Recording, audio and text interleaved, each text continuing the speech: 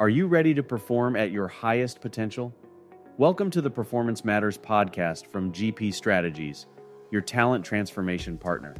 In each episode, we'll interview industry experts and explore best practices and innovative insights to help your organization improve performance.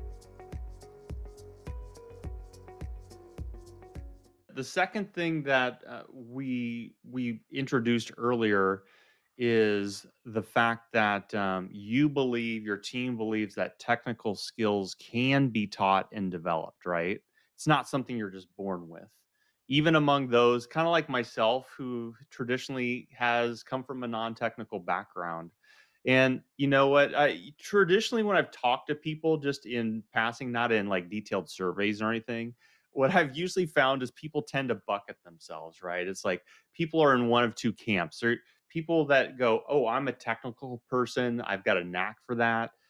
Or, you know, the rest of us who maybe went to a liberal arts school and we're like, "Yeah, I can't really, you know, make that shift. I'm just not wired that way." So, my question to you though is, you know, can we really train people to move from non-technical work into the skill trades? Well, we can we can train people to do that to move from that non-technical world to a technical world. I think first and foremost is that those individuals themselves have to have at least some type of a desire to do so.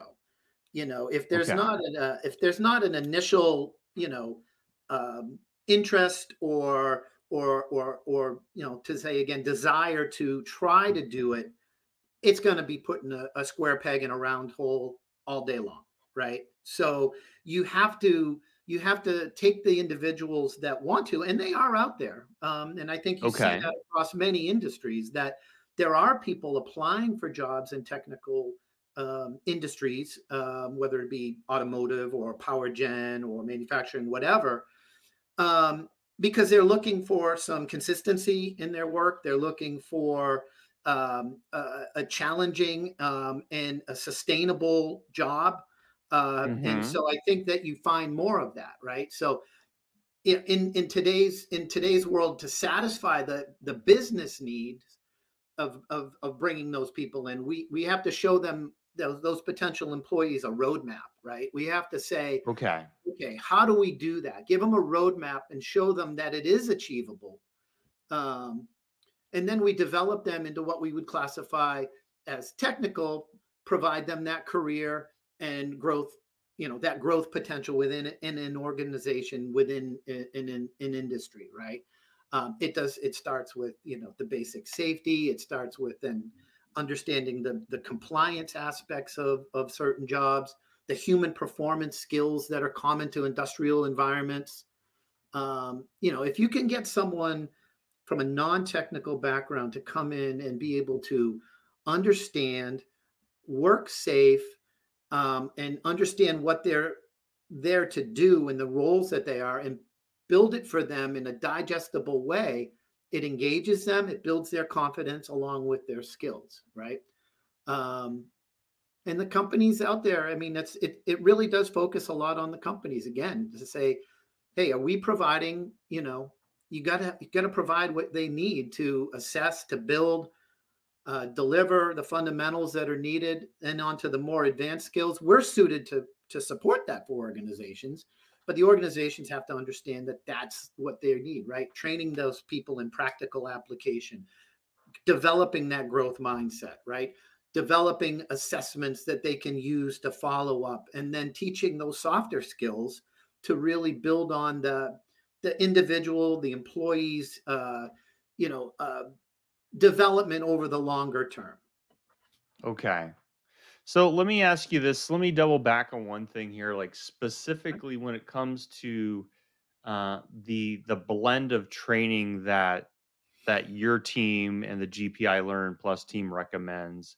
When it comes to training, um, what what kind of blend have you found to be successful in getting someone from a non-technical background to being proficient. What's your thought on that? Well, it's yeah, I mean it's it's a longer process, right? So it starts really at day 1 of introducing them to the safety and the compliance aspects of an organization onboarding right is is key um, and we could talk more about that but getting them onboarded properly so they have the basic skill sets and tools to understand why they're doing and why they're mm-hmm. doing it mm-hmm. is is important and then next is giving them those general theory the general theory and knowledge of the areas where in which they're going to work so that they understand what they're looking at then you get them out and they need to touch and they need to again be mentored a little bit by others in the organization of hey here's the protocols here are the procedures right? It all has to start to make sense at that point and then you then you get them to solo if you will so that they're able to do that work on their own. Now you start to introduce more advanced skills uh, or or provide them opportunities for advancement in more technical areas whether that be online uh, training, online theory that we provide at GPI Learn, whether it be classroom uh, instructor led training, again, that mm-hmm. you know, mm-hmm. all of these things GP Strategies can provide. Uh, uh, on site trainers where they have um, equipment that's brought in to help develop skills and, and further along that education. Uh, leadership training to to develop that frontline skill set that folks need. You know, it really becomes that longer term package from from day one right on right on through the development. And and by engaging them in those things and giving feedback is huge along okay.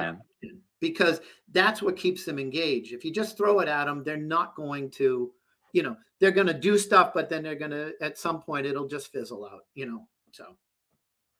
And then what would you say is the the blend of you know technical skills versus soft skills in this whole transitional mix?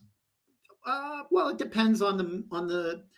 I'll say it depends on the maturity of what the individual is doing, right? So if you start off okay. in, a, in a technical role, you know they need to have certain skills of of of organization and structure and human performance on how to behave and interact right those are those are skills those are softer skills if you will that they need to understand as a as an individual contributor and then as they maybe advance or develop and advance over time now they may be in, responsible for for one or two or a small work group or team of individuals mm-hmm. where now mm-hmm. they need to get more, you know, more of a blend, if you will, of the management type or softer skills that they're going to do. So they have an understanding of a technical background.